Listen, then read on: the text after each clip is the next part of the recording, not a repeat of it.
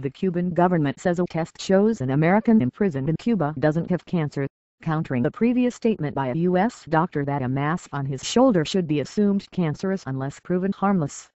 Cuban and American officials met Monday to discuss Alan Gross' health, Cuban officials said in a statement to the Associated Press on Tuesday.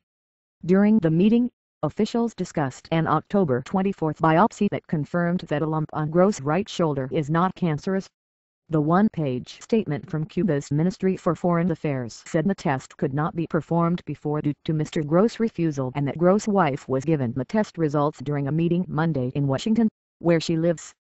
The U.S. doctor who previously reviewed tests performed on Gross in Cuba said they were inadequate.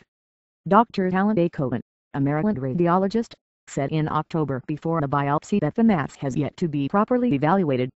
Cohen suggested it would be preferable if Gross was immediately examined at a facility in the United States. Gross, 63, was arrested in Cuba in late 2009 while on a USAID-funded democracy-building program and later sentenced to 15 years for crimes against the state. He claims he was only trying to help the island's small Jewish community gain internet access. His case has become a source of tension in U.S.-Cuba relations.